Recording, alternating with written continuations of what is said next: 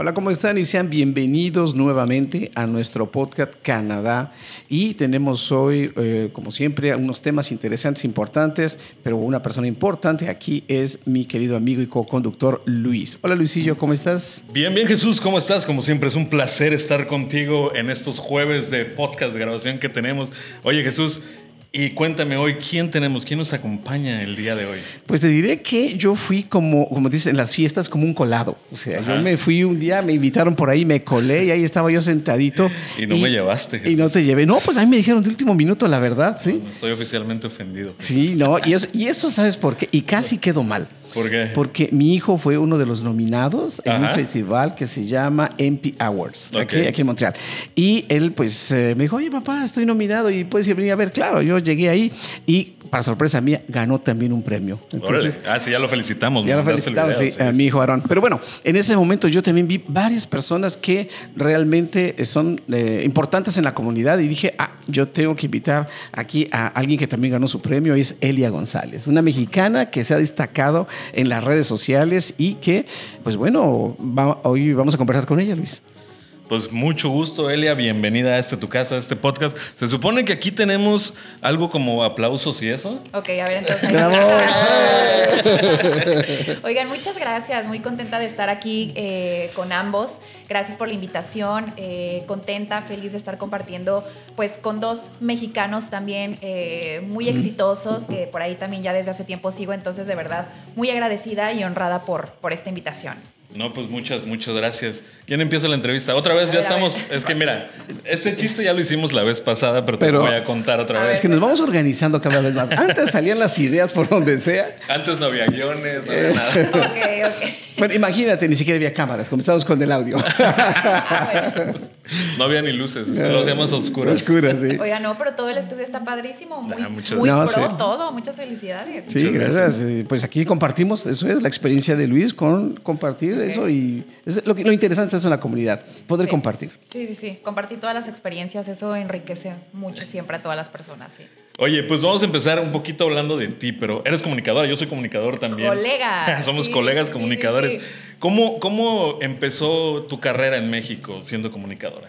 Híjole, pues mira, yo tenía muy claro desde que estaba muy chiquita que a mí me, me, gustaba mucho esto de comunicar, este, yo me ponía desde chiquita con el micrófono y bueno, era como que algo que ya traía desde chiquita. Mi mamá siempre me decía que era como que muy parlanchina. Eh, entonces, ya a la hora que se llega eh, pues, la prepa y tienes que tener como lo de la orientación vocacional y empiezas a hacer cierto tipo de exámenes para ver hacia dónde te vas a encaminar a la universidad, como que todo era muy encaminado a la comunicación. Entonces yo dije, ok, ya esto lo tenemos muy claro, voy hacia la comunicación. Entonces es cuando decido eh, estudiar en la Universidad Autónoma de Aguascalientes. Esa universidad, pues las autónomas ya saben que son allá en México. Pero, ¿cómo descubriste esa área? Porque, mira, discúlpame, las, las mujeres son de naturaleza parlanchinas. Sí, Eres millennial, güey. Todos los millennials somos. Bueno, Eres millennial, ¿no? Sí. Todos los millennials quieren ser comunicadores. Bueno, pero, pero ¿cómo es que tú dices es por aquí? ¿Qué sentías tú? ¿Algo que te emocionó? No sé. o sea, a mí desde, chiquita me acuerdo que una vez que fuimos a la ciudad de los niños. Eh, en Ciudad de México, había una parte en la que podías estar como que en la televisión. Entonces ah, yo dije, yo quiero estar en la televisión, era eh, Televisa, dije, yo quiero estar ahí. Y un día cuando sea grande voy a salir yo en televisión. O sea, yo desde chiquita tenía claro que yo quería salir en la televisión. Ya desde pequeña tienes tu rol, decías, yo quiero estar en las cámaras. Yo quería estar en las cámaras, mi mamá también de chiquita este, nos grababa a mi hermana y a mí, yo hacía aquel show y todo. En algún momento yo dije, me gustaría ser actriz porque era muy dramática. Mm. Pero después dije, no, o sea, a mí lo que me gusta es la comunicación entonces, conforme voy creciendo, o sea, yo decía, pues sí, o sea, los, los números como que no me llamaban la atención, ni se me dan, ¿verdad? O sea, creo que es mal de todos los comunicadores que los números como que no van tanto con nosotros. Solamente cuando son exitosos, entonces hay que recaudar. Ahí, se cuentan los billetes, ¿no? Estás contando. Ahí sí, ahí sí. Entonces, ya acercándose la, la, fecha en la que yo tenía que decidir la carrera y por los mismos exámenes de la orientación vocacional, todo me salía que era encaminado a la comunicación. Entonces yo dije, ok, o sea, está clarísimo, ya hasta las encuestas y todo lo dicen que es comunicación. Y en Aguascalientes, en ese entonces, eh, solamente en la Universidad Autónoma de Aguascalientes se tenía la opción de estudiar comunicación e información, que esa carrera iba más como encaminada a los medios. Había otra opción en otra universidad que era más mezclado con marketing. No me llamaba tanto la atención, entonces apliqué para la UA y es cuando, eh, pues bueno, sí, sí quedo entre esa lista porque pues es una universidad en la que muchos aplican. Entonces, afortunadamente sí pude este, quedar ahí en, en la Universidad Autónoma de Aguascalientes y es cuando empiezo ya, este, yo, yo, yo entré a la carrera como con la cosa de voy a ser conductora. O sea, yo nada más veía como que en mi mente voy a ser conductora. Pero nunca te imaginabas, perdón, Elia, que iba a ser conductora en Canadá. No, jamás. O sea, yo decía, más, o sea, yo nunca dije, yo siempre decía, yo no me voy a mover de Aguascalientes. O sea, Nunca ni de la siquiera, vida. Ni siquiera de estado me voy a mover. Yo amo Aguascalientes, jamás me voy a ir. Oye, espérame, hablando de Aguascalientes, yo, una persona, un amigo que está muy cercano, ya a veces hablo con él por internet, Ajá. pero en el invierno hace mucho frío en Aguascalientes. Te quiero decir, yo le de- yo- mira, aquí en Canadá, no sé, nunca estoy con un abrigo, ni guantes, ni bufanda. Frecuentemente yo lo veía en su casa, compartiéndome su pantalla, y decía, oh my God. Vivir en México, en Aguascalientes, es duro. Allá se hace frío. Aquí en Canadá no hace frío. Mismo si yo estoy afuera a menos 30. Sí. Digo, no sé, me dio, me, me quedé con esa imagen. Di- Dime, es que realmente hace mucho frío. No, realmente no. O sea, nuestro frío, por ejemplo, es como ahorita está el, el clima, ¿no? A 8 grados. Pues que tiene montaña. No, pero, ocho, pero espérame, Aguascalientes. 8 grados dentro de tu casa es mucho frío. Ah, no, sí, por ejemplo, es que ese es el problema, ¿no? Que en las casas ya en México, pues no se tiene como que la calefacción. Entonces, uno, si quiere sentir calorcito allá en Aguascalientes, pues, al sol. hay que salir. Ah.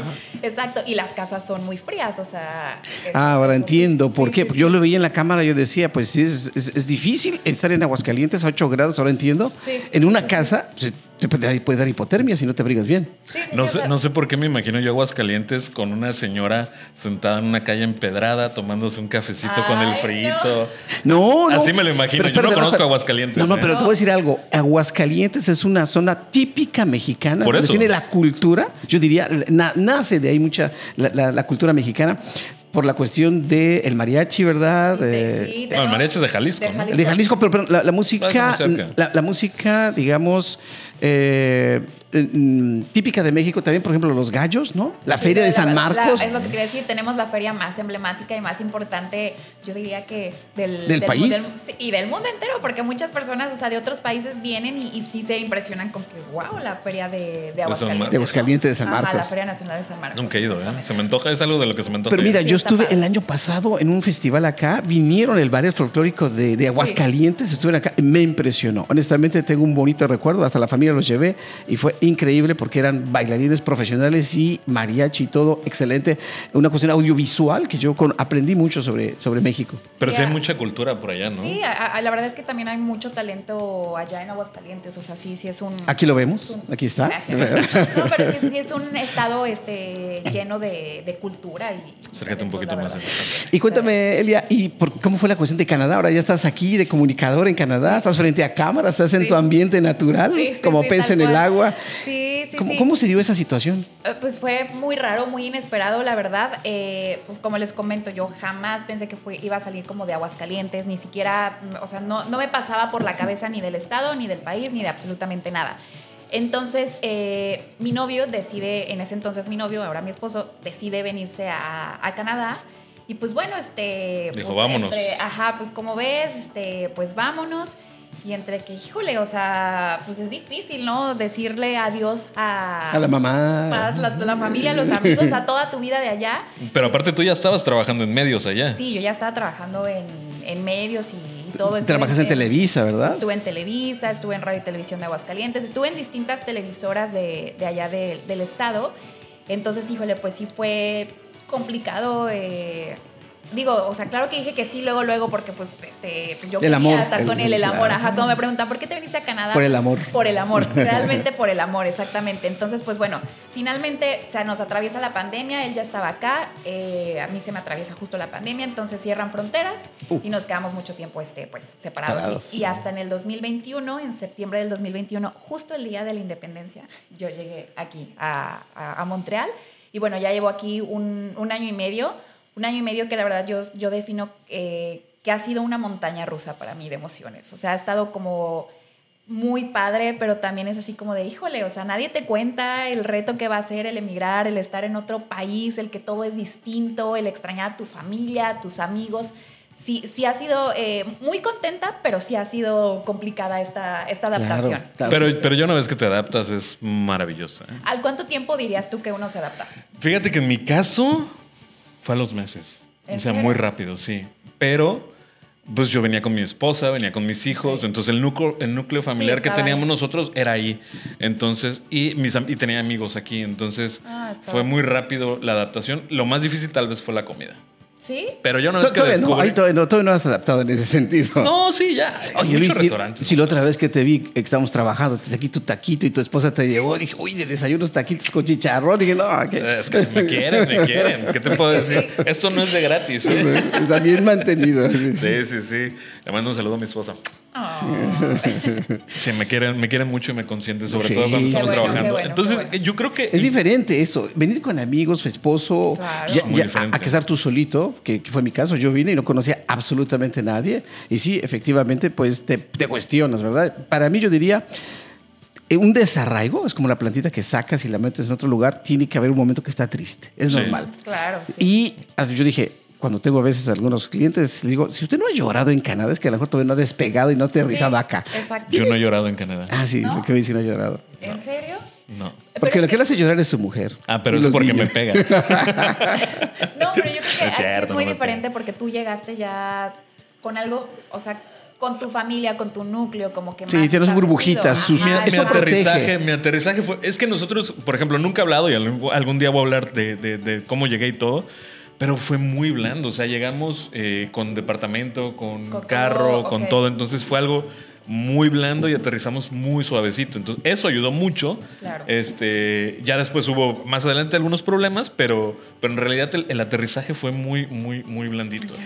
Y Alía, ¿cómo fue tu aterrizaje aquí? Eh, ¿cómo- ¿Lo sentiste duro, dices? No, pues yo creo que el aterrizaje sí fue muy blandito porque pues ya mi esposo ya estaba como que muy, Eh, muy establecido. Sí, no, claro, yo feliz. No te ya- llegó a buscar de- ni la cama, ni microondas, nada. Exacto, no, ya, me- ya me tocó llegar pues ya al departamento, ya como que ya muy pues establecido, muy ya ubicando las cosas, los trámites, absolutamente todo. Entonces como que pues yo llegué también como en muy, muy cómoda, llegué en septiembre, el 15 de septiembre, y se aproximaba ya el primer invierno, ¿no? Que era como que todo mundo dice que el primer invierno es el mayor reto, que muchos salen corriendo, que, pues bueno, muchas cosas, este, y superé el primer invierno, a mí el primer invierno me pareció maravilloso, eh, wow, la nieve, la caída, el frío, no hace tanto frío. Pero, bueno, pero ¿quién te dijo eso? Eso fue en las redes sociales que te dijeron No, que... claro, sí, Ah, claro, claro, exactamente. ¿Qué cosa? ¿Que el invierno es maravilloso? No, que es difícil y que sales corriendo como ¿Qué? en seria, pero pues en general, yo os que he preguntado, mi experiencia ha sido siempre muy bonita, mágica en general. Pero, pero hay de, hay de experiencias a experiencias. O sea, vuelvo a lo mismo. A lo mejor nosotros tuvimos una, Suerte. una adaptación o gente que estaba aquí antes que nos dijo, bueno, güey, tienes que comprarte esa chamarra porque esa chamarra Eso, te va a sí. proteger, güey. Ponte estos guantes porque si no se te va a congelar un dedo. No salgas a la calle si no vas bien. ¿Me explico? O sea, Sí. que te enseñaron a vestirte en capas. eh, Sí, porque un- muchos llegan, justo dice mi esposo que cuando llegó compró una, muchas chamarras que no eran para el invierno. no les. Entonces, ya hasta que le explicaron, oye, no, es que mira, te tienes que fijar que la etiqueta diga esto, que tenga tal tecnología, que bla, bla, bla. Entonces dice, ay, pues yo compré varias que ya a, la hora, a esta hora pues ya no utilizo ni nada. Entonces yo cuando llegué ella me decía así como de, mira, esta Eh, chamarra exacto, es ya la indicada, sabe ya te cómo. compré esto y al otro. Ajá, pero sí es cierto, o sea, hay muchas personas que, porque unos dicen, me voy a traer las chamarras de México, ¿no? Para el invierno de allá, pues allá no hace frío, o sea, no, No, hace a mí me trajeron un regalo, perdón Luis, y me dieron una de borrego, ¿ok? Ajá. Bueno, esa sí, no, pero espérate, yo, yo cuando dije me la trajo, me la arreglo, pues muchas gracias, mm, con mucho cariño la recibí. No la pero, voy a utilizar. Pero no la puedo utilizar, ¿por qué? Porque no transpira. Ajá. Y, y entonces eso me daba sudor y el sudor te hace frío, entonces no Sí. está adaptada Sí, sí, para sí. eh, eh, esa confort que debes tener para que te, caliente. Te pero- digo algo curiosamente, la chamarra que más me sirvió mis primeros dos años, Es- es- la compré en Cancún. Ah, güey, pero a lo mejor era ya alguien que tenía una No, tienda. no, no, no, en, en- ¿cómo se llama esta? Old Navy. Pues un, un almacén gringo. Un Es un ser, almazón gringo, pero, ser, sí. pero o sea, la chamarra y el gorro más abrigador que tengo ¿En hasta ahorita los compré en Old Navy en, en México. Wow. Bueno, hacemos una aclaración nada más abajo. Chamarra igual chaqueta para los colombianos. Ah, ¿ok? cierto, Sí. cierto, cierto, sí, sí, Porque sí. si no... Chaqueta igual a chamarra en México, no es otra cosa. Sí, Porque en cha- México, cha- cha- y chaquetas mentales o no sé. Esa es otra historia. Pero Sí, bueno. Sí, exacto. Después de esa aclaración, Luisillo, cuéntanos entonces, dices, y, y es por eso que ahora yo he visto que tú dices, hay que ser una guía, ¿verdad? Hay que ayudar a sí, los sí. inmigrantes, hay que transmitir eso. ¿Y, y- Sí. y cómo, cómo, cómo fue por ahí tu idea? eh? Pues fue chistoso porque, digo, el canal de YouTube, que es un canal de YouTube, se llama Elia Te Guía. pero, o sea, así se llama como yo, pero es un proyecto que comparto con, con, mi esposo. O sea, fue como la idea de los dos. Yo llegué y tenía como que muchas dudas de, oye, ¿cómo se hace este trámite? ¿Cómo funciona esto? ¿Cómo funciona el otro? Y él igual, cuando llegó, pues tenía muchas dudas. Entonces me dijo, oye, ¿cómo ves? Hay que hacer como un proyecto. O sea, tú que eres comunicadora y que tú quieres seguir como con, o sea, comunicando y haciendo eso, pero pues ahora acá. Y yo también traía mucho la idea de, bueno, en México estuve haciendo distintos programas ahora quiero hacer algo diferente, algo que le pueda aportar a la gente, ¿no? O sea, ahora hay que aportarle algo a la comunidad latina y dije, bueno, pues yo creo que igual haciendo una guía para las personas que acaban de llegar a, Canadá, eh, pues van a llegar igual con muchas preguntas, con muchas dudas, eh, pues hay que hacer este canal. Entonces justo el primero fue el del de la ropa de invierno. Entonces ahí les, les iba explicando eh, qué ropa deben de comprar, cuál sí o sí, o sea, es la, la súper necesaria y, y otras prendas que igual pues son como extras, pero que no van a ser como tan forzosas como que si no tienes botas de invierno, pues la vas a sufrir, ¿no? Y si no tienes la chamarra de invierno, chaqueta de invierno, la vas a sufrir también, ¿no? Entonces, y, depende de lo que va a ser de tu actividad, ¿no? Exacto, Porque yo también he querido sacar uno, pero bueno, no es mi especialidad la comunicación. Pero yo digo, yo, yo hago, me gusta el esquí. O sea, es más, antes de que cayera la primera nevada, yo ya tenía mis esquís que les compré una venta de esas de, de, garage. Y yo decía, que caiga, que caiga la nieve, por favor, porque ya quiero estrenarlo. Ya, ya quiero irme a esquiar. Sí, yo me esquiar. Yo, yo me paso de maravilla con los niños. Entonces, hay que aprender a, a la cuestión de la vestimenta, que es como una cebollita, ¿verdad? Sí. Que hay que ponerse de algodón, luego algo sintético y así vamos. Entonces, bueno, un día a lo mejor lo sacaré porque quiero que los niños aprendan porque no hay que tenerle miedo al invierno realmente. Exacto. Como dicen en la escuela, aquí el problema no es el invierno, el problema es que está usted mal abrigado. Eh, sí, exactamente. O, sea, o no saber manejar en el invierno. te toca aprender, eso te toca darte tus, tus sustos. Sí, Porque sí, realmente me decían muchas amigas en México, hace poco, en, en el invierno pasado, estuvimos a menos 40 me decían, es que no logro entender cómo estás caminando a menos 40. Y yo, bueno, pues es que si uno trae la ropa adecuada, pues no se siente a menos 40, ¿verdad? O sea, pero pues si sales así con una blusita muy ligerita, pues claro que se va a sentir el frío. Entonces creo que la clave está en que te abrigues bien. Y, el tiempo de exposición, Elia, porque yo he salido hasta ah, menos 40 con mi bata, porque se me olvidaron los... los, rápido y, y salí corriendo, cuando entré estaban congelados los cabellos. a ver, a ver, quiero hacer un paréntesis. A ver, Joel, aquí, aquí, un segundo, por favor. Un segundo. A menos 40 se hace frío. Ah, Aunque estés abrigado. O sea, sí, pero, no, lo sientes. Lo sientes en la cara y, y, se siente horrible. No salgan a menos 40 si no tienen que salir. Bueno. Dada esa aclaración. No, güey, depende. Si yo voy y voy al carro hasta el piso de la nieve y me meto, no pasa nada. Pero si quieres. No, por eso el tiempo de exposición. Pero, aclaro, si hay canadienses, mucha gente, no solo canadienses, que tienen que salir a trabajar en esas temperaturas. Ah, sí, claro. Eh, eh, bueno, Luis, te pongo. Es que ya fuiste al carnaval de invierno en Quebec y te has metido a jugar voleibol o aventarte en la nieve con short nada más. Menos 35. Ahí está. Bueno, no con, con, short nada más. No, con short. No, nada más. O sea, pero a lo que yo me refiero es de que. No, sí, estoy molestando, no te preocupes. No, no, pero, no, pero uno en su mente, o sea, yo también decía, híjole, ¿cómo voy a aguantar a menos 25, a menos 35? O sea, ya, ya que lo estás viviendo, dices, ay, pues no, jamás pensé que fuera a sentir esta temperatura y, no se siente como, o sea, sí se siente frío, pero no, no se siente a... En la cara sí se siente, pero yo he estado a menos 20 sudando. Bueno, por la actividad. Caminando y eso, o sea, y, si sientes calor y de repente dices, chamarra, vete para allá, porque aparte te pones normalmente un suéter o una sudadera abajo. Entonces, si estás caminando, estás, yo soy mucho de hacer lives durante el invierno, salir a caminar, enseñar cómo están las nevadas, etcétera. Entonces, de repente digo, no, ya la chamarra me la quito y, sigo caminando así. Bueno, lo que sí es cierto es que hay un confort increíble aquí en Canadá, ¿sí? no vas a pasar frío si no tienes... No, eso sí te, lo aseguro. Por eso es que digo, a veces hace más frío en México, depende de la zona. Sí, depende. Al interior de... la casa que aquí, porque aquí siempre estás a 22 grados, depende de tu termómetro y ahí está, todo el año.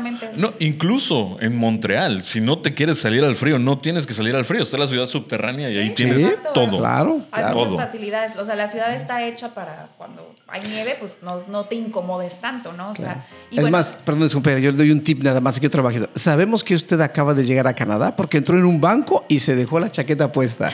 Entra usted a su casa y tiene la chaqueta puesta. Llega a una oficina y tiene la chaqueta y dice, mm, se te está delatando, acaba de llegar. Es nuevo. Es, nuevo. Es cuando, nuevo. cuando estás del carro que vas a salir y ya no tienes la chamarra, ah, ves la chamarra y dices, no, güey, ya me voy corriendo rápido. ese ya está viejo, ese ya se da cuenta lo que hace. Sí, sí, sí, yo, yo soy mucho de no traer guantes en invierno. ¿En serio? Se me olvidan. los primeros meses, los primeros pero te inviernos. las manos en las bolsas de la chamarra. no? no? porque vas con el celular. Voy, voy con el celular. Y la cámara y todo eso, pero Lo que igual. agarro es, me meto la, como la mano en la chamarra y así agarro el, el celular o llevo el, el gimbal. Pero... Sabes que también hay personas, o sea, hay que identificar uno dónde siente el frío. Por ejemplo, a mí en las manos me da mucho frío, entonces tengo que salir con los guantes y en las orejas. O sea, a mí me da mucho frío. Y hay personas que dicen, no, a mí las manos, por ejemplo, a ti que dices, pues yo no tengo problema con No, sí me da frío, se me olvidan. Ah, dices, exacto. me aguanto. sí me da frío. No, y te, las aguantas, pero exacto, lo que dices, él tiene razón, porque a mí, por ejemplo, la espalda. Si a mí me da frío en la espalda, se arruinó el asunto. Y mi hijo, si le da frío en las manos, ya, no puede hacer nada. Exacto, eso es como lo. Hay que identificar en dónde le da. Exactamente. A uno bueno. Pero bueno, en fin, no hablemos de cosas frías. de cosas frías.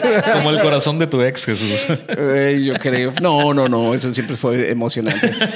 Eh, hablemos algo de más, más de calientito, más de, de, de acción que has tenido acá. Ese festival, ese MP Hours, ¿cómo te fue? ¿Cómo te sentiste?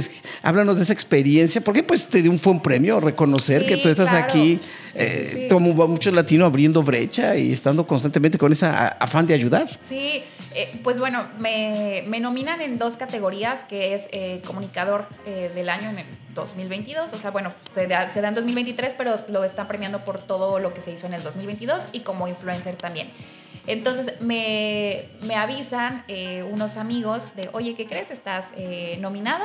Mi esposo también como que me tenía la sorpresa de decirme de que, oye, pues estás nominada para los MP Awards y era por votaciones. Entonces uno tenía que pues pedirle a, a, la gente que los apoyara, que votaran por. Ah, con razón ganaste, eso es por eso. Todos les dijiste, voten, voten. Claro, claro. Entonces, eh, pues se publicaba un par de veces de, oigan, este, aquí les dejo el link donde deben de votar por mí. Eh, pues afortunadamente hubo mucha gente que me estuvo apoyando. Sinceramente, para mí sí fue una sorpresa el haber ganado. O sea, ya que estamos ahí, se hizo una cena gala, eh, fue en, en abril. Entonces, ya cuando pues estaban dando como que las premiaciones a distintas categorías, la mía fue más o menos como de la entre en medio y al último. Y la verdad para mí sí fue una sorpresa cuando dicen, bueno, el primero fue el influencer del año y que dicen mi nombre yo me quedé así como de, ah, caray, pero yo no me siento tampoco influencer ni nada. Y dije, ok, está bien. Entonces digo, bien contenta, muy agradecida por, por todo el apoyo. Eh, también... Eh, pues reconocerles a, a, los organizadores de los MP Awards que hayan organizado justo este, este sí, gran les evento. Les enviamos un saludo si nos escuchan, sí. porque les vamos a invitar para que nos digan esa experiencia, porque su filosofía de ella es muy bonita, nos gusta sí, apoyar, eh, intercambiar. Se hizo una muy bonita comunidad, o sea, tú que estuviste, por ejemplo, en el evento, uh -huh. creo yo que ese día del evento había como una vibra como muy bonita, muy positiva, como muy mágica, y de que todos era así como de no importa quién gane, quién no gane, o sea, todos íbamos como que lo bonito es conocernos, lo bonito es estar conviviendo y ya después, eh, ya casi al final, es cuando anuncian que también gané como comunicadora del año y bueno, pues, o sea, yo muy, muy, muy, muy feliz por este reconocimiento porque a final de cuentas, pues, soy comunicadora, eh, me, me acuerdo mucho que muchas amigas me dijeron en su momento, ¿para qué te vas a ir a Canadá? ¿Qué vas a hacer allá? Te vas a olvidar de tu carrera, te vas a olvidar de todo, no te vayas. ¿Y sabes qué les contesto y... cuando me preguntan eso? Muñecos de nieve. Cuando me contesten qué vas a hacer a Canadá, muñecos, muñecos de, nieve. Muñecos de nieve. Aquí no lo puedo hacer. lo puedo hacer. No, y dije, bueno, o sea, también fue como que un impulso de, pues bueno, o sea, sí, sí, sí se puede, eh, tal vez de una forma distinta, dentro de una plataforma distinta, que ahora son las redes sociales, pero para mí sí fue como que muy bonito y, muy lindo el hecho de que haya recibido estos dos premios. Y sí dije, ay, no, que no iba a hacer nada por acá en Canadá, entonces... No, este, de que se puede, se puede saber claro. bien, que se puede solamente, sabes que las herramientas son las esenciales, el claro, idioma, sí. hacer tus equivalencias, estudiar aquí un tiempito y, y, yo no creo que nadie con estas herramientas va a poder decir no hago mi área que me apasiona la profesión o ganar bien. Claro, es, sí, sí, sí, exacto. Y, y, ahora más con la mano de obra que se necesita. Sí. No, pero tenemos muchos ejemplos. Aquí tenemos cineastas, tenemos... Enfermeras. Acaba de venir Pepe. Médicos. Eh, radio. Eh, no, pero estoy hablando precisamente en el ramo de la comunicación. De la comunicación. Ah, hay okay. actores, hay, hay, gente muy talentosa que está sobre, eh, sobresaliendo en eso. O sea, es, es más difícil. O sea, claro, hay sectores claro, claro más difíciles, sí. Sí, sí, sí. O sea, claro que, es, que tienen como que su reto porque pues nada como estar en tu país, en donde ya sabes cómo funcionan las cosas. Yo creo que es más difícil. México, ¿eh? También depende del nivel. También sobresalir yo creo que es más difícil. Ojo, no quiero decir que vengan a Canadá con la, con la idea de ser youtubers y que sí, van a ser millonarios ajá. como está ahorita muy de moda. Eh, pero sí yo creo que es más fácil sobresalir en México perdón, aquí en Canadá que en México si eres bueno en lo que haces. Si eres bueno en lo que haces. Sí, sí, sí. O, sea, yo más bien me refería como que allá puede que digas, ya tengo una carrera en donde más o menos como que me ubican, ya, ya tenías como que el trabajo seguro. Sí, claro. como que es, es, realmente empezar desde cero. O sea, es lo que platicábamos justo fuera del aire, ¿no? De que en redes sociales muchas, vemos, muchas veces vemos de que, ay, vente a Canadá en dos pasos y nada más hace esto y Jesús, Jesús hace videos diciendo, vente a Canadá, Express Entry, mil dólares. Sobre todo. Imagínate. No es cierto, no es cierto. Jesús no hace esos videos, ¿eh? no, claro. Pero aparte, o sea, creo que me parece una falta de respeto que hagan eso para los consultores de migración. O sea, que son los, los, eh, No, realmente. Bueno, no tenemos la verdad absoluta, ni más de lo que yo podría decir eso. Lo que sí es importante es que tampoco lo que dijiste al inicio es engañar y hacer creer como un espejito que es accesible, es fácil y todo lo van a lograr, porque ahí sí no hay que tener una preparación, hay que saber uno lo que viene. Pero hablemos de, lo que tú has desarrollado. Espérame, quiero nada más agregar un punto ahí. Cuando nosotros empezamos a hacer el podcast, nosotros teníamos ideas. Eh, nuestros primeros acercamientos entre Jesús y yo fueron hacer algo precisamente para combatir toda esa desinformación que hay en las redes sociales. No es fácil, Jesús, venir a Canadá. Tampoco es imposible posible. Y no, no es imposible ni es fácil, pero es depende también para el perfil, ¿sí? Y también para cuándo lo quieres. Muchos lo quieren ya, ya, ya en este momento, pues es obvio que quizás no está usted preparado, pero... no lleva su tiempo. Exacto, o prepárese bien. Es la parte donde, bueno, sí, hay personas que tenemos que asesorar en la cuestión de poderles ayudar y, eh, o el camino que hay que tomar. No exactamente es el que yo creo que es la solución, porque tu amigo, tu vecino fue ese vía que para ti va a ser la misma, ¿no? Y, son diferentes circunstancias para cada persona, o sea, no... Lo que le sirve a uno no le sirve a otra persona. Y yo personalmente, y esto lo digo yo a nombre de título personal, yo considero muy responsables todas esas personas que están haciendo ese tipo de contenido. Sí. Que solamente para, bueno, no es que sea Por like, por seguir Algunos sí son falsos realmente. No, hay, hay, quienes, hay como, hay algunos consultores de migración que tienen... Eh, sus canales en YouTube o, en Instagram o en TikTok que dan muy buenos consejos de migración. Ah, sí, sí, sí. Pero son consultores de migración. Sí, son hay gente, en la materia. Eh, hay gente, por ejemplo, como Nelson Reyes, en lo particular, él tiene una empresa de migración atrás que le da todos los consejos y toda la, la facultad moral de hablar de esos temas porque tiene alguien atrás de él que los están. Planeta Juan es el mismo caso. O sea, tienen consultores de. O sea, tienen alguien que los estaba como enmarcando, más o menos hasta dónde puedes decir y hasta dónde no. Exactamente. Que si dicen una tontería, la persona les va a decir, no, espérate, no digas eso porque eso, puede ser esto, ¿no? O, pueden pasar este tipo de cosas. Bueno, porque es muy, es, es muy eh, responsable lo que uno dice porque lo que uno puede influenciar o decir, la gente lo va a hacer. Y si lo hace y, y, se arruina su futuro y su vida, por eso eso es criminal. En Canadá, si alguien cobra porque te asesore y no es eh, consultor, eh, pues te da cárcel porque te llevas entre las patas a gente que sin querer tenía un sueño y la arruinó. Fíjate que ahorita que estás hablando de eso, hace poco, justo igual eh, en conjunto con, con, una consultora, hice un video, bueno, ella la entrevisto y es como una sesión informativa justo para... Que se llama tu programa Objetivo Canadá. Objetivo Canadá, ajá. Con, con mi colega Carolina. Con Carolina Piedraíta. Sí, sí, sí, claro. Y es como para combatir justo esta desinformación. Y el video más reciente que, que van a encontrar ahí en mi canal es los cuatro, eh, las cuatro estafas más comunes al querer emigrar, ¿no? Y justo hay un apartado en donde les comparto, eh, toda esta información, o sea, fue previa con, con Carolina. Y hay un apartado en donde ella nos comparte eh, cómo pueden darse cuenta que su consultor es realmente un consultor regulado y, este, y que está eh, apareciendo como que en la, en la página oficial, ahí les puse los links y todo. Y si su consultor no aparece en esa lista, pues quiere decir que no es consultor y que no debe de, no debe de estarles cobrando, ¿no? Porque me han llegado a mí muchos mensajes desde México de, oye, me contactó la agencia Tal. X nombre, ¿no?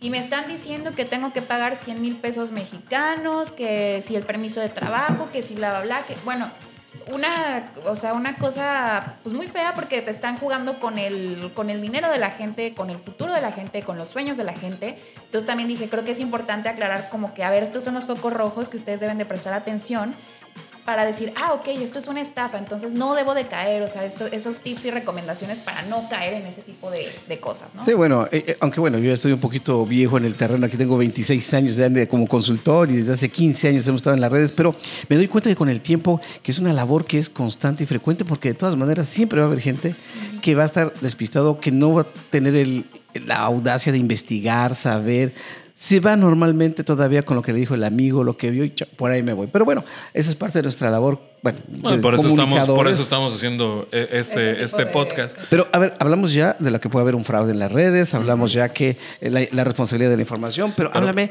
de, en las redes del acoso. Por ejemplo, hay personas que dan toda su información en las redes, nombre, teléfono, profesión, y comienza a ver su acoso o divulgación contra esa persona o utilizar para un fraude todos tus datos.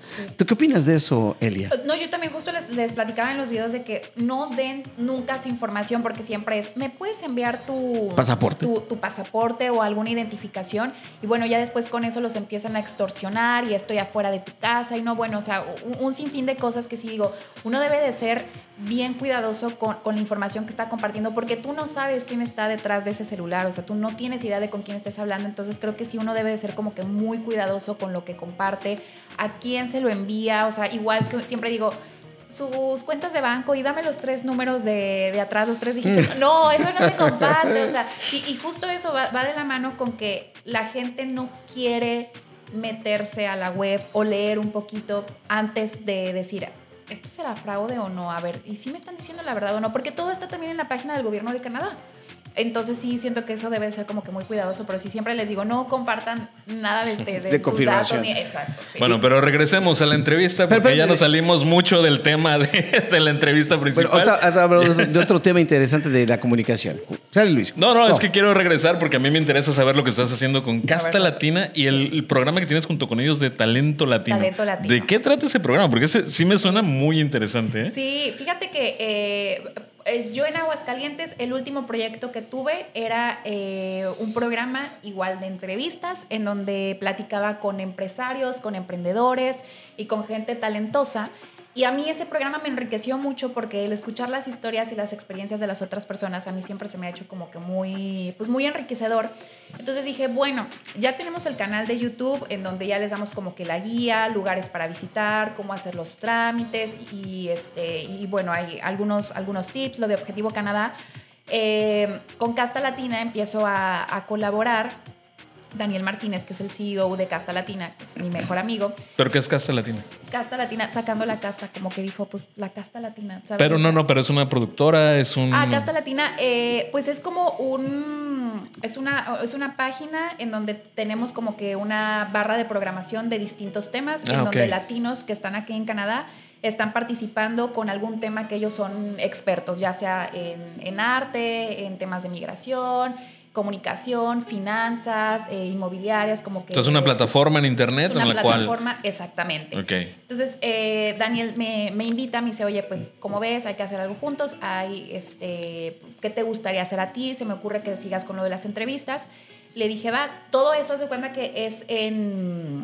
Eh, cada, en línea, pues cada uno está uh -huh. como que en su casa, las entrevistas son como que... Eh, lo que se puso muy de moda ahorita con ajá, la pandemia. lo que se puso como de moda en la pandemia. Pero a mí me gustaba mucho eh, estar como aquí, ¿no? O sea, estar como que en persona, conviviendo, conociendo, o sea, siento que es muy diferente. Entonces yo le dije, va, yo lo hago, pero lo hago aquí en Montreal y lo hago entrevistando a las personas, o sea, en persona, pues, o sea, en vivo y en, en directo.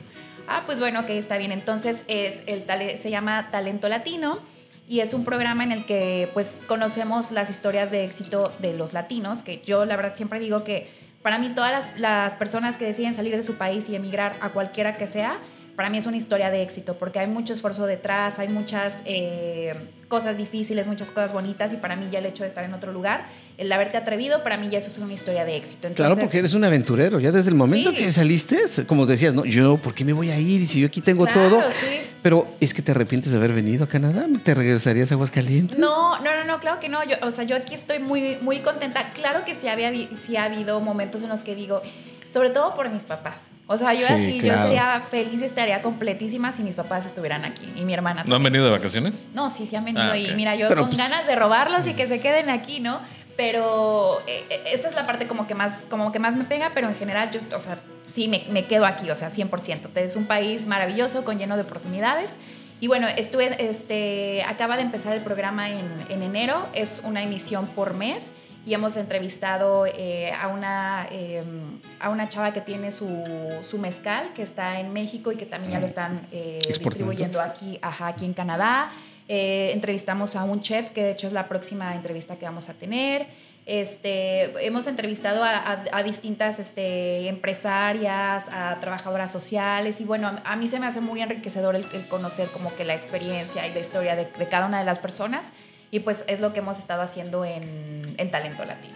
próximamente, próximamente aquí tengo a dos invitados. Por Uy, pero yo, no tengo ningún talento, yo solo sé alguna que otra cosa. El que tiene talento es Luis, ¿eh? no, ¿Has, visto, sus fotografías de Luis? ¿Sus videos? Sus videos, sí, sí, los videos, sí, sí, sí. No, no, no, pero ambos son talentosos y les digo, para, o sea, para mí el, el conocer cómo fue que llegaste, cuáles fueron los retos no, pero te voy a decir una cosa, y se lo dije ayer que hablamos, yo para mí Jesús Hernández es el mejor consultor de inmigración que tiene Canadá en España. No, no, no, hay varios colegas que son buenísimos. para mí, para, mí. Yo estoy hablando de mí, pero tú tienes un lugar muy especial en mi corazón. Ah, bueno. No digas más porque van a enterarse de la verdadera razón. Es el, Pero, justo, eh, o sea, yo, lo hice como con, con esa intención de, aparte de seguir con algo que es algo que ya me gustaba previamente a venir yo acá a Canadá, el conocer todo ese talento y sobre todo también para las personas que acaban de llegar, me parece que es muy inspirador el ver a personas que llegaron igual que ustedes y que después de unos años ya están en una posición súper distinta, que están compartiendo su historia de éxito y para mí es el decirles, sí se puede, no se desesperen. Y también el quitar como un poquito el estigma de que... El tabú. En, el tabú, ajá, de que en México siempre es, uy, te vas a ir a Canadá, ¿a qué te vas a ir a Canadá? Allá no vas a hacer nada, allá como que está mucho eso en, en, México. Es un, es un, preconcepto, un sistema de mecanismo de protección. Como yo no puedo irme, pues tú te vas. ¿Para qué vas a hacer? Pues, hoy, ando polémico. Hoy ando polémico. Pero a ver, esta, pregunta es para los dos. Voy a empezar con Jesús. ¿Tú crees que el éxito en Canadá dependa de tu situación migratoria? Eh, no, no, no, no, no, no, no. Definitivamente el éxito, si tú quieres en tu vida acá, es depende tus sueños, tus metas, tus retos. Eh, eh, el éxito está, en tu, está dentro de ti, está en tu corazón, nada más. Lo demás se va a dar. Si tú con tu corazón sabes qué tienes que hacer, vas a buscar la información, vas a buscar el apoyo, vas a salir y lo vas a lograr.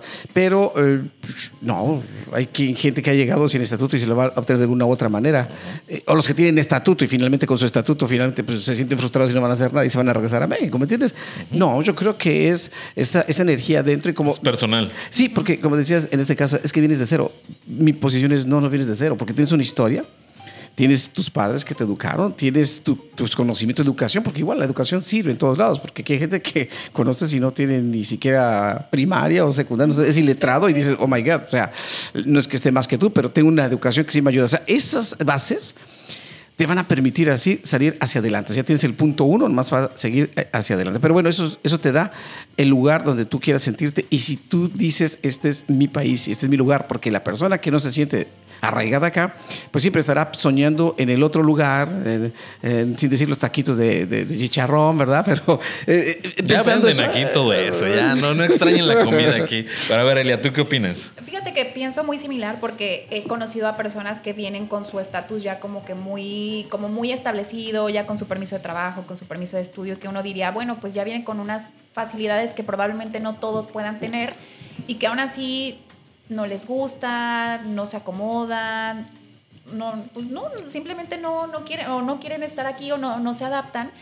Y hay personas que justo no llegan como que con un estatus eh, que tienen que arreglar, o sea, que van a tener que arreglar para tener después un estatus legal y que les va muy bien, que se esfuerzan, pero lo que yo también creo es que ya una vez teniendo como que un estatus eh, legal, ya llámese residencia permanente o que estén como en algún proceso, creo yo que el hecho de que ya puedas tener el derecho a la salud, el derecho a pues, trabajar de manera legal y todo eso, creo yo que también te puede brindar como un poquito más. Te ayuda, te da más, más, más seguridad, más estabilidad y sobre todo que Canadá tiene muchos programas de apoyo para todo.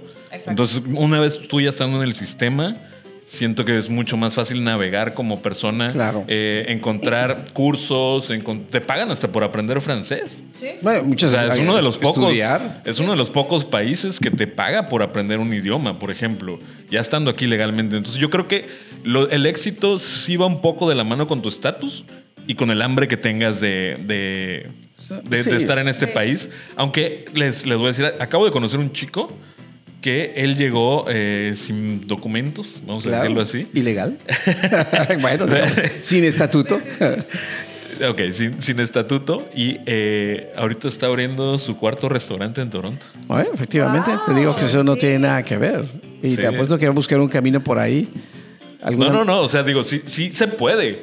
Pero eh, yo creo que es mucho más fácil cuando ya tienes todo las, las... Estás dentro del sistema. Oye, porque para mí lo interesante de Canadá, y por eso yo lo escogí, yo tuve la suerte de escogerlo, porque yo dije, yo agarré casi, casi dónde voy a hacerlo, mis estudios que yo realicé. Entonces, eh, yo sabía que había un país en el cual se respetaba al ser humano a al mismo nivel.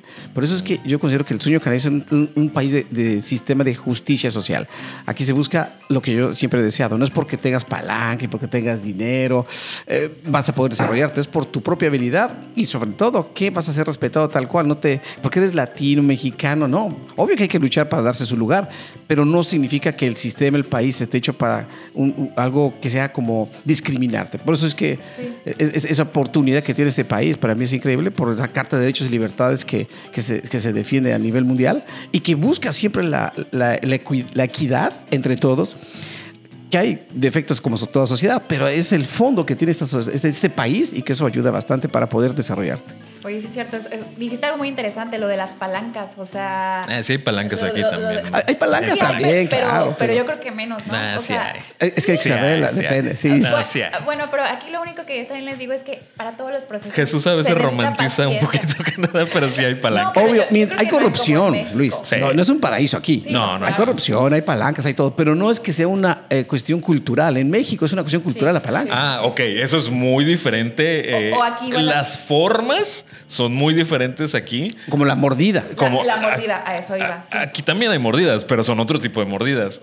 Y no estoy hablando mal de Canadá. Yo amo este país y tú lo sabes. Mientras seas ser humano, van a ser todas las cualidades y los defectos que tiene ser humano. Pero es que, sabes que conforme te vas integrando más a la sociedad, te das cuenta de muchas cosas y dices, ah, cabrón. Claro, pues Yo es que... que... esto no pasaba aquí. Ajá, sí, no, llegas. Llegas y, y, por ejemplo, vamos a hacer un podcast de esto, de, de los estafas que hay aquí. Yo aquí me estafaron y en México nunca me habían estafado. ¿Los impuestos? ¿Te estafaron los impuestos? No, los impuestos no. No, con un carro. Sí. Uh. entonces, entonces aquí se romantiza mucho Canadá y también. No, Es que si tú eres ingenuo, esa es otra historia. No, pero espérame, es que a ti te pintan una cosa. Tú llevas 26 años aquí, tú ya te la sabes.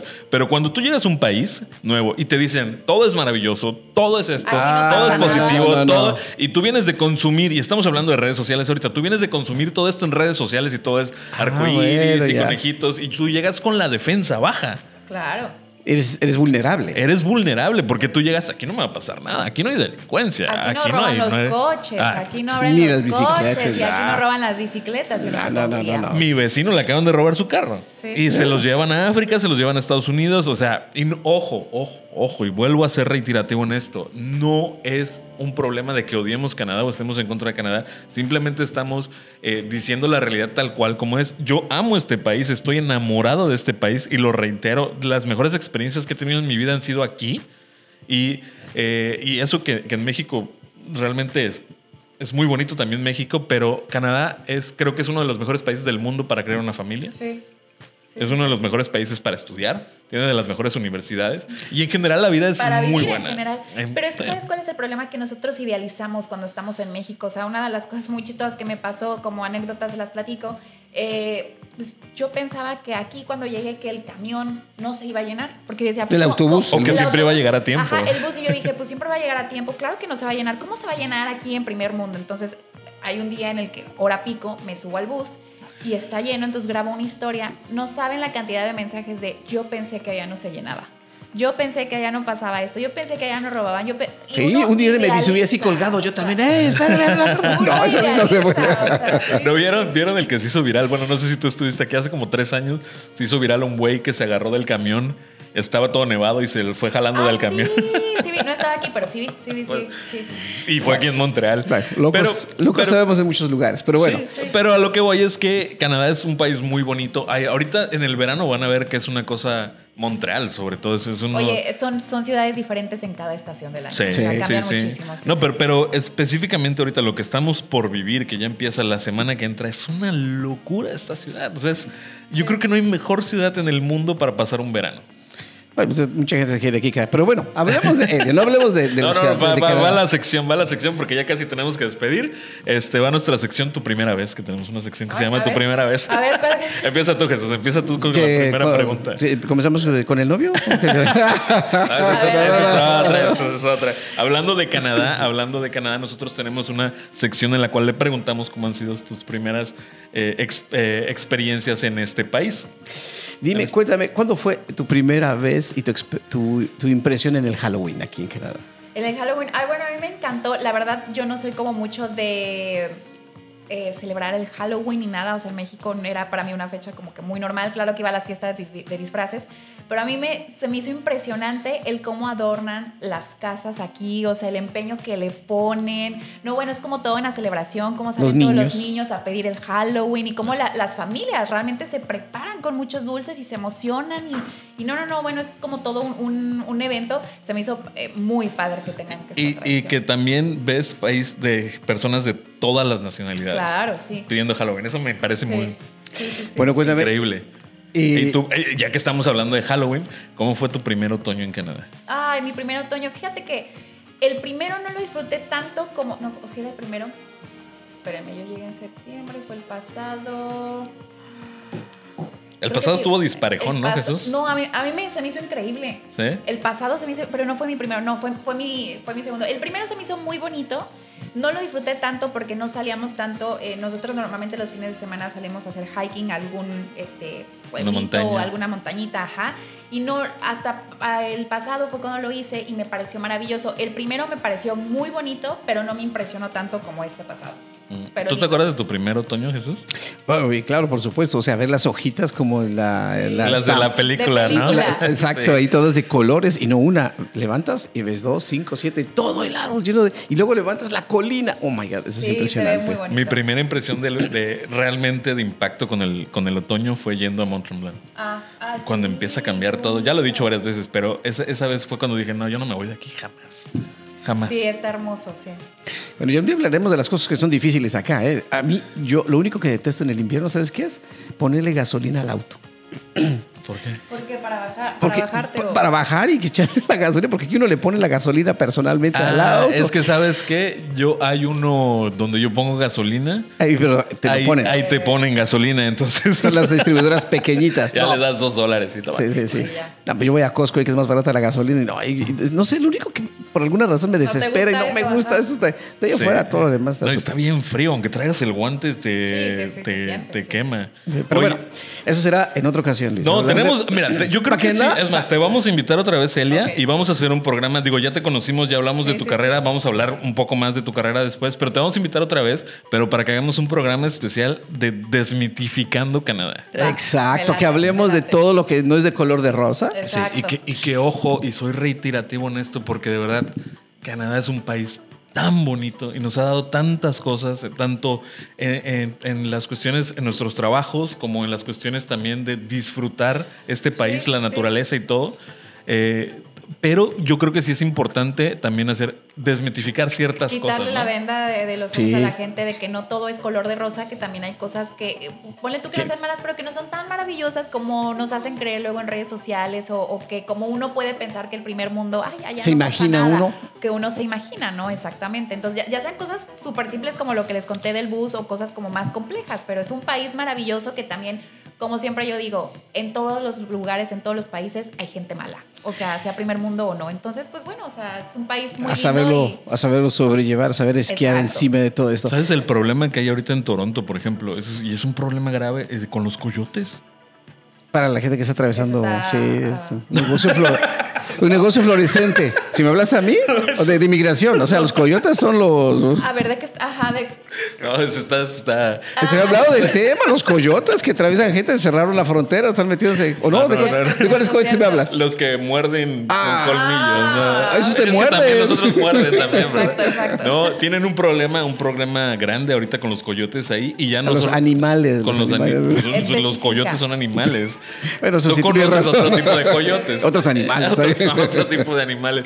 Eh, pero sí, eh, tienen un problema muy grande. Entonces estaría padre como hablar de esos temas ahorita en, en, una próxima emisión este, que te vamos a invitar. Yo puesta. Pero ahorita dime dónde te pueden encontrar. Dime todas tus redes sociales. Digo, aquí van a aparecer. pero díselas por favor para que te sigan. En YouTube me encuentran como Elia Teguía para que por ahí se suscriban y vean todos los videos que tenemos. En Instagram estoy como Elia-González H y en Facebook y en TikTok también me encuentran como Elia Teguía, para que pues por ahí me estén siguiendo en redes sociales. Eh, en Instagram estoy compartiendo prácticamente diario eh, pues mi día a día o cosas eh, pues interesantes que podemos encontrar aquí en, Canadá y bueno, en las otras redes sociales igual, entonces para que por ahí me, me sigan. Claro, para que los vean realmente en lo que es la vida real, ¿sí? Para que no se imagine cosas. no digan, venga a Canadá y tenga mil dólares le cuesta la residencia permanente, ¿no? eso es verdad o es mentira, Jesús. depende de lo que lo veas, es obvio que es, para ganar likes. Tú deberías ser político, Jesús. Tú te vas siempre por la... No, no y está bien. no, no, no. Yo no sé cuál es la intención y la, Lo que sí es cierto es que el otro tema que quería hablar contigo es la falsa información que se distribuye. Enviar cosas cositas así, uno hace la sopa y al rato resulta que no es. ¿Tú qué opinas de esa situación? ¿Cómo se...? Obvio, combatirla no, pero están viendo cada vez más normas en las cuales las redes sociales, ciertas cosas de eh, agresión, ciertas palabras se están bloqueando, o te borran cuando realmente estás haciendo cosas. ¿Tú qué opinas de esa situación? Híjole, es que creo que hay tanta información que entre esa información hay mucha desinformación. Entonces, eh, yo siento que el mejor consejo es siempre vayan a la fuente oficial. O sea, si ven un video, a ver, voy a, voy a checar que realmente lo que me está diciendo esta persona es real. A ver, vamos a en este caso triple Pero la gente no lee, la gente no lee y no, no hace un tercer paso, no hace un tercer paso. Yo creo que ahorita entró en vigor el Bill 11, el, eh, que es un poco de... trata sobre reglamentar la Internet y, empieza a tener un 30% el gobierno para poner contenido eh, de Canadá. Yo creo que es un primer paso y el siguiente paso va a ser empezar a controlar el contenido que va a haber en redes. ¿eh? Sí, pero creo que sí es algo que, que sí urge porque pues muchas personas están viendo muy afectadas. Pero como dijeran los colombianos, para que no coman entero. Es decir. Pero, fíjate, o sea, si te pones a analizar en este tiempo, ya Joel nos está cortando, pero espérame, Joel, dos minutos más.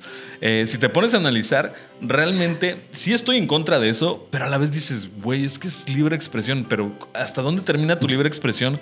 En que le afectas a otra persona. Eh, eh, eso ya la Corte Federal lo, determinó también aquí, que es importante. Una cosa es la libertad, una cosa es divertir, otra cosa es reírte y otra cosa es ofender, la otra cosa es discriminar. ¿sí? Pero bueno, eh, es otro, otro tema, hablaremos de política. Pero miren, para, para eso está, mira, aquí para migración, sigan a Jesús Hernández para todos los consejos de migración. Jesús, ¿dónde te pueden seguir? ¿Dónde te pueden encontrar? Acabamos de sacar una cápsula interesante para todas las cuestiones de personas de refugio, porque ah, cerraron la frontera, ahorita hay un nuevo convenio eh, entre Estados Unidos y Canadá, entonces los procedimientos cambiaron, ya casi todo es online. Entonces, si quiere usted saber lo último, lo nuevo, ¿cuál es, ¿qué está pasando? Tenemos ahí un grupo en WhatsApp que se llama eh, WhatsApp Refugio. Si quieren, lo pondrían por ahí abajo, lo voy a poner. ¿Y, ¿Y qué hacemos en ese grupo? Es de manera personalizada, que más tarde vamos a responder unas preguntas acá solo de ese grupo y son personas que ya saben porque han visto esos, este, unos videos que ponemos aquí que son de hora y media, son cuatro bloques muy importantes desde, desde el cero hasta la cuestión de residencia. Entonces, eso yo participo y pongo lo, lo, esencial y lo nuevo, exactamente, con la práctica que tenemos ya de más de 26 años en la cuestión de representación en esa sección de, refugio y eh, le, paso los tips. Entonces, eso le permitirá a usted tener una idea clara, concreta y tomar la mejor decisión para su, su proyecto. Y más adelante sacaremos eh, los caminos de Canadá, que desde cuando estamos mencionando, para saber los opciones, los caminos para que usted pueda tomar la mejor decisión. Pero, bueno, ¿pero dónde te encuentran? Eso es eh, y en las redes sociales ahí en WhatsApp, en Instagram eh, y ponga usted sus datos y estamos en contacto con usted para poderle ayudar. Oigan, y sigan a Elia en todas sus redes sociales para que vean desde cómo hacer los trámites aquí en este país hasta entrevistas con celebridades locales como Jesús Hernández. Ah, no, no, no, no soy celebridad. Oye, no, yo le digo, yo le digo a mi, a mi esposa jugando, obviamente, ¿no? Le digo, soy una celebridad celebridad local. Obviamente es jugando, ¿eh? No eh, local, en tu casa. Sí, en mi casa, con mis hijos, sí, sí, sí. porque no me tratan bien, entonces tengo que exigir mis derechos. Elia, muchísimas. nah, Joel ya nos está corriendo porque dice que primera vez son tres mexicanos juntos. Dicen, no, cállalos, güey, cállalos. Que, que chamarro y que no es que están hablando ahí. Es más, vamos a pedir un cafecito y ahorita vamos a seguir seguramente la plática. Elia, muchísimas gracias por habernos acompañado. De verdad, se tiene que repetir y tenemos que planear ese, ese desmitificando, desmitificando Canadá. Eh, a lo mejor este, hacemos, si no un podcast como tal, algo mucho más, más casual. Eh, pero creo que sí, sí, es algo importante y creo que congeniamos en, la mentalidad que tenemos los tres. Sí, sí, sí. gracias a ustedes. ¿eh? De verdad fue un honor estar compartiendo micrófono eh, con ustedes, compartiendo experiencias y ideas con, ambos. De verdad, este, honrada de estar aquí en este podcast. Así que muchas gracias. Pues muchísimas gracias otra vez, Jesús. Muchísimas gracias, Elia. Muchísimas gracias a todos ustedes por su preferencia en escuchar este podcast, que ya por fin tiene nombre, Podcast Canadá. Eh, nos vemos en la siguiente oportunidad. Les mando muchos besitos. Bye.